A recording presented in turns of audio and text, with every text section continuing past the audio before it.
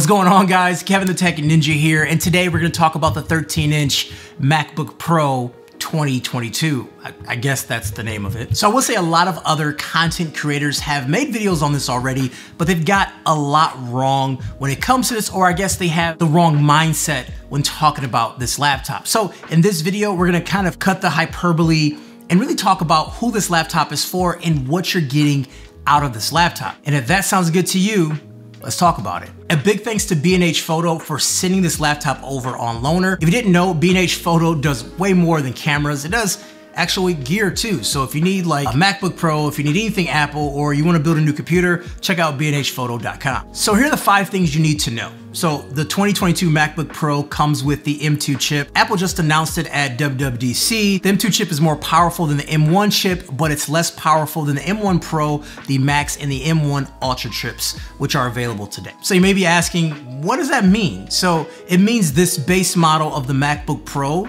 isn't an upgrade like those other chips. So if you need more horsepower, you're better off going with an older MacBook Pro, the 14 or the 16 inch, which you can get an upgraded M1 chip. Now with the M2 chip, you can get a couple of things right now on the base version. So you can actually configure it up to 24 gigabytes of RAM, which the M1 can't do. Even though the M2 doesn't have the most power just yet compared to the newer M1s, it's still fast and very efficient. Apple says the M2 chip is a significant upgrade over the stock M1 chip because you get 1.4 times faster video editing performance on the M2 MacBook Pro versus the M1 MacBook Pro. It also goes six times faster compared to an Intel chip 13 inch MacBook Pro. So let's assume the M2 Pro, M2 Ultra, and the M2 Max will be much faster than the M1s. But as of right now, the M2 is just base, so I will personally wait if those are your applications. But if you're coming from an Intel MacBook,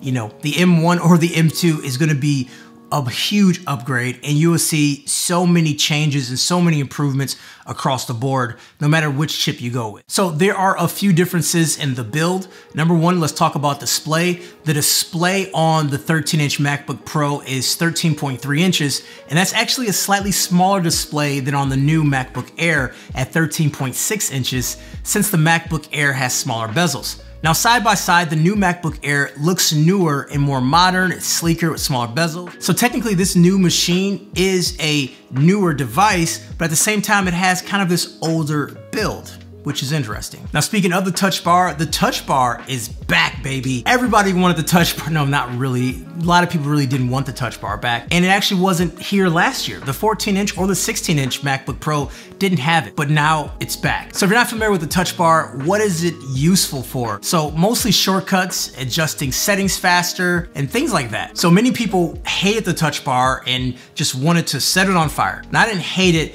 I actually liked how it looked. I thought it looked futuristic, but I didn't use it a ton. I couldn't find enough reasons to use it outside of quickly adjusting volume and brightness. So seemingly Apple is moving away from the touch bar, but this laptop has the touch bar. So sort of a rewind when it comes to the build. It's kind of an older build, if you will. Now, ports.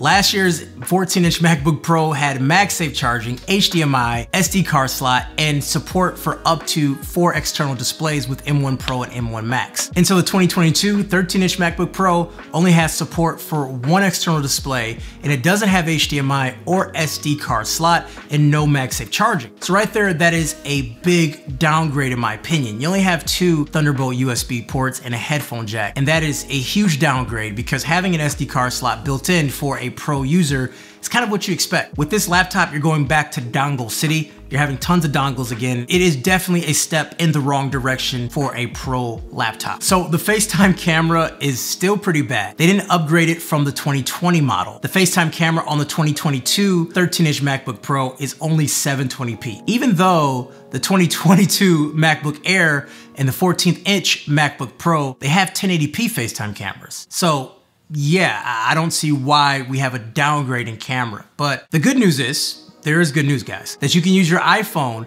as a Mac webcam.